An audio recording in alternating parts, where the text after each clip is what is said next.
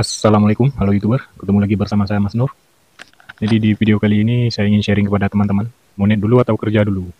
Ya teman-teman ini sorry ya, ini karena lagi di kebun, lagi tidak di rumah, jadi saya buat video tutorial di kebun saja. Jadi supaya teman-teman juga bisa apa namanya membuat konten itu tidak mesti di studio atau di rumah. Kalau konten tutorial ya. Jadi ada kawan-kawan yang belum monet, ada kawan-kawan yang belum monet menanyakan ke saya Bang sebaiknya monet dulu atau kerja dulu. Jadi gini teman-teman, berdasarkan pengalaman dari channel ini, teman-teman jangan jangan lihat channel inilah karena channel ini sebelumnya konten musik. Kenapa dulunya saya sengaja membuat channel ini sebagai konten musik. Jadi di tahun di tahun-tahun sebelumnya teman-teman, saya ada kesibukan kerja jadi saya terpaksa membuat channel ini bertemakan musik. Tujuan saya membuat konten musik supaya saya cepat mendapat jam tayang dari konten musik tersebut. Kalau konten tutorial kita harus berjuang sendiri teman-teman. Jadi kalau konten musik 70% dari penonton alami lah. Makanya sebelumnya saya, channel saya ini bertemakan musik. Jadi jangan heran kalau sepi penonton setelah monet karena temanya jauh sekali ya dari konten musik menjadi konten tutorial. Jadi berdasarkan pengalaman ini teman-teman bisa menilainya sendiri, kerja dulu atau monet dulu. Jadi kalau boleh saya kasih saran, sebaiknya teman-teman berjuang dulu sebelum monet.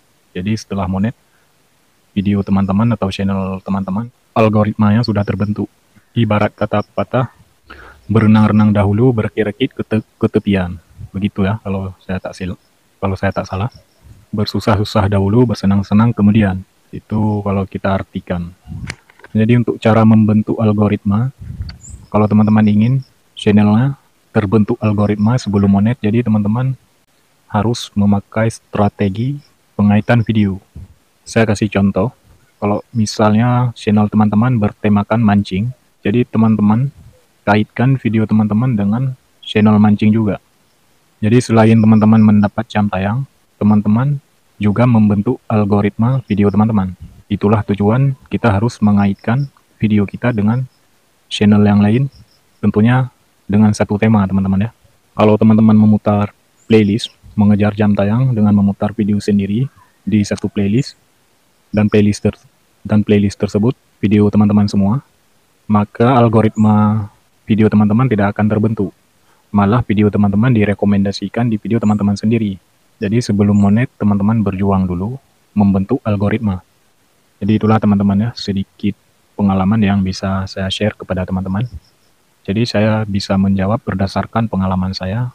Jangan bersenang-senang dahulu, bersusah-susah kemudian. Nah, contohnya channel ini. Jadi dimaklumi saja, karena sebelumnya saya juga sibuk dengan pekerjaan. Jadi saya harus mengejar jam tayang dengan cara membuat konten musik. Sebelum channel ini saya ubah ke tema tutorial.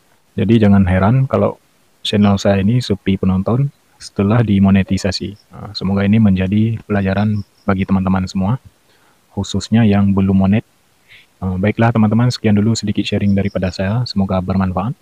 Terima kasih sudah menonton. Jangan lupa like, komen, dan subscribe. Terima kasih.